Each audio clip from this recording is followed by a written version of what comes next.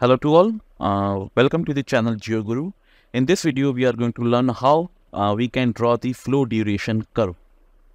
So flow duration curve generally uh, look like this, uh, where in one axis we have got the probability of exceedance, uh, and in other column we could have either uh, flow, either discharge or level or anything which tends to change in a duration.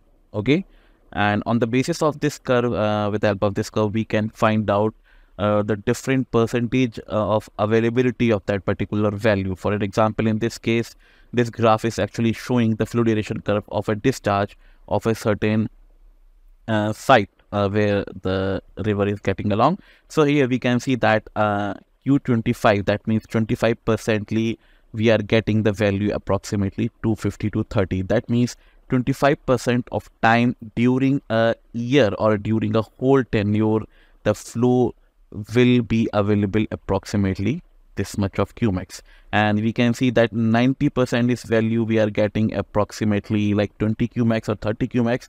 So that means 90% of time the this particular point receives this much minimum this much amount of um, cumecs.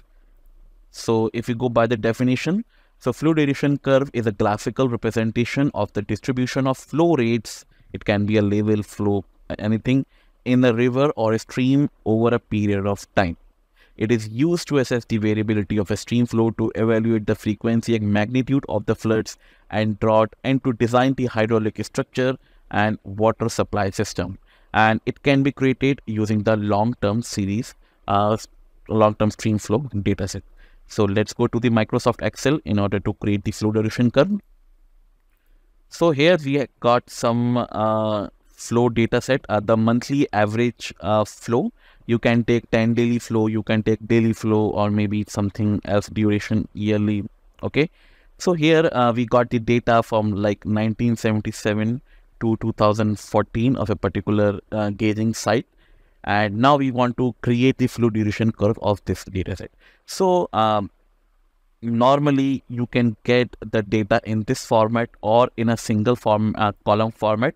So we will try to discuss uh, both of this uh, data structure. So in order to convert all of this uh, metrics into a single column, we are going to use a formula in the Excel known as to call that means TO. It uh, returns the array into the one column. So I'll just select the array first. That means all the data set. Then hit enter. Now you can see this all the data. That means approximately uh, 456 values are come under a single column.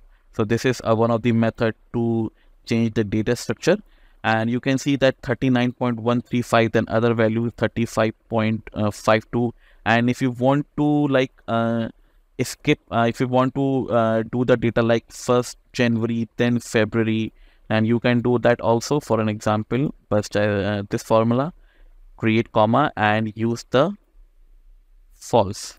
So now you can see that oh sorry true.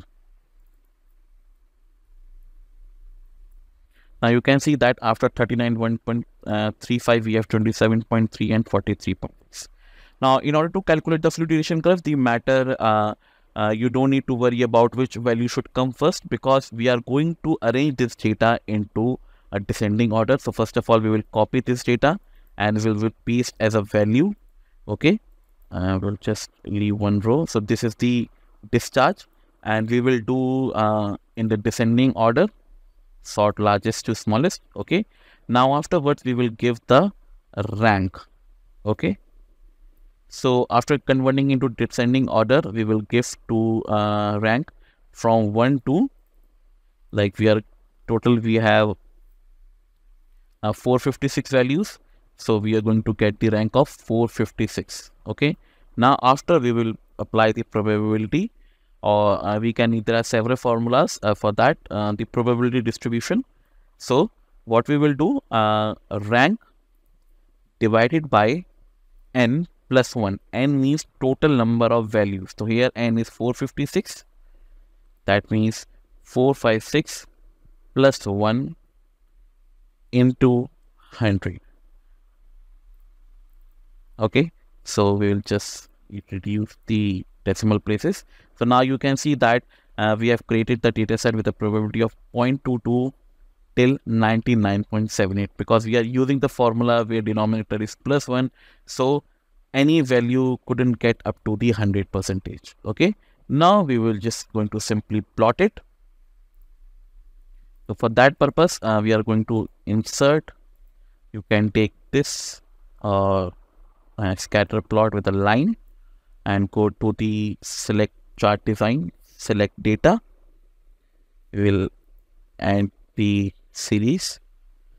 Give any name like q over the x-axis we are going to give the this probability.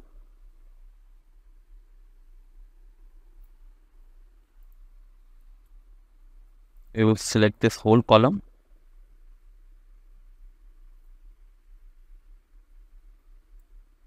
Okay that means from s2 to s4 for 57 and in the y column we are going to select this uh, q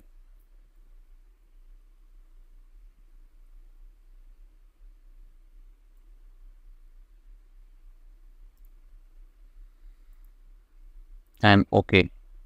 Okay.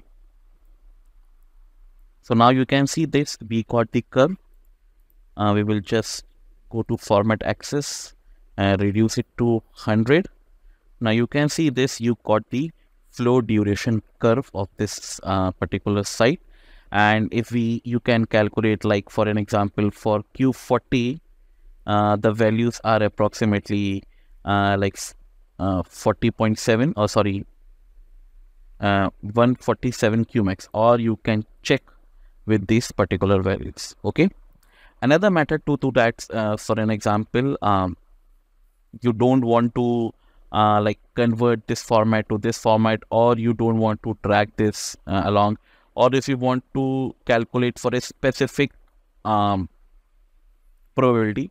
So for uh, for that purpose there is a formula uh, but before that uh, we are just going to write the p and for uh, you can get the like p with a like we don't want to go to 1 200 but 2 4 6 okay and we can get up to the 100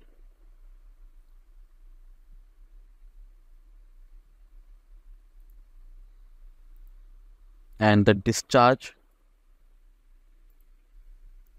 the formula we are going to use is is equal to percentile. Okay next thing it is asking about array. So either you can provide the whole array in the column or in this structure also then comma then k. So here k is equal to 1 minus 2 divided by 100 that means 1 minus e44 divided by 100 and we're going to click enter and just drop down. And we will try to create the chart from this also. Insert. So now this is the similar chart that uh, we are getting in the case of uh, the previous chart. Or if you want to uh, put uh, this uh, in order to check that these value are coming same as the not we are going to put the similar value to this particular uh, column in this chart. So how to do that? So here we are going to go to the chart design select data add add we are going to give name q2 and for x axis we are going to give the probability. Okay and for y axis we are going to give the q. Okay. Okay. So now you can see both the charts are overlapping. That means both the results are coming at the same.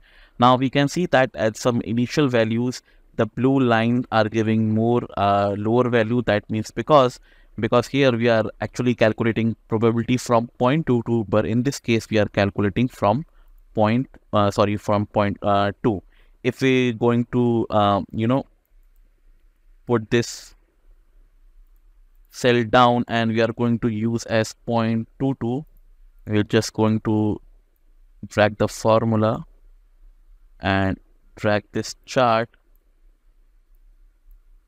enter so we are going to get the similar value. So that's it. Uh, this is how you can calculate the flow duration curve and with the help of this you can uh, calculate the water availability either for hydrostructure or for drought analysis or lean flow analysis. Thank you